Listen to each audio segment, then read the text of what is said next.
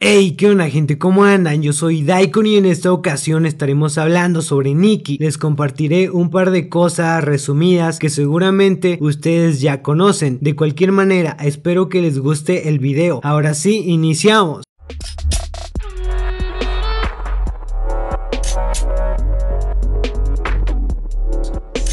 La Music Session de Nicky fue una total locura para todos. Hay que reconocer que nada de esto fuera posible sin Bizarrap, ya que aunque parezca algo raro, es como que todo lo que toca lo convierte en oro, literalmente. Y prueba de ello están las anteriores Music Session con artistas como Frijo, Dillon, Kid Toto, Mesita, que lograron un alcance muy alto al trabajar con Visa. Claramente ya eran conocidos, pero podemos decir que con las Music Session de Visa llegaron a más personas. Mismo pasó con Nicky, pero en una magnitud mayor, pues apenas a 24 horas del lanzamiento de la Music Session, el video logró obtener 2 millones de reproducciones, estando en tendencia en toda Argentina y en países como Uruguay, México, Chile, Colombia y entre muchos otros. También en Spotify este tema logró entrar al top mundial y en el chart de Argentina debutó en el número 7, algo que para Nicky, que solo cuenta con muy pocos temas, fue el boom total. Actualmente el video cuenta con más de 12 millones de reproducciones.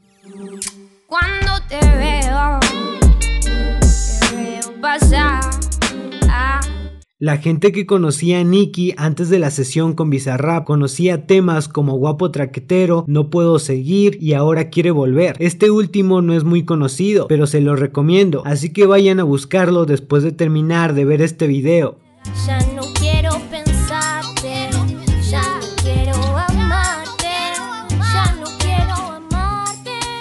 La gente confiaba desde antes en el talento de Nikki, artistas cercanos a ella como Duki sabían el gran potencial de esta niña, tanto así que Duki en dos streams dejó saber lo que opinaba sobre su música y nos adelantó que próximamente sacarían una colaboración, algo que para la gente gustó demasiado.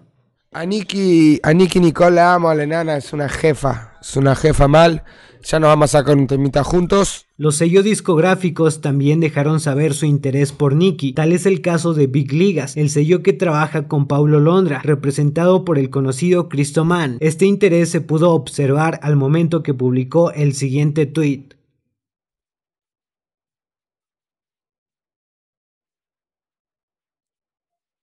Aún no se sabe si Nicky llega a trabajar con Big Ligas. Mucha gente desea que esto se haga realidad, pero de la misma manera, otra gran parte de personas están esperando que esto no suceda, ya que dicen que si esto pasa, Nicky se verá muy limitada a solo hacer música comercial. Déjenme saber aquí en los comentarios qué es lo que ustedes quisieran, si desean ver a Nicky trabajando en Big Ligas o independientemente. De la misma manera, tuvimos un poco de humor con esta music session, ya que Nicky mostró un parecido físico a Billy Age y un parecido y estilo vocal a Paulo Londra. La gente comenzó a decir que era una fusión entre estos dos artistas y se hicieron memes diciendo que no sabían en qué momento Paulo y Billy se calentaron para que Nicky naciera. Esto hay que tomarlo de la mejor manera, ya que no es con el fin de ofender a nadie. Después de todo esto, Nicky nos seguirá sorprendiendo, pues nos avisó por vía Twitter que el 23 de agosto lanzará su próximo tema, así que lo único que yo les recomiendo es que esperen todo lo que se viene. Así que nada, de mi parte esto sería todo, gracias por ver el video y nos vemos en el próximo.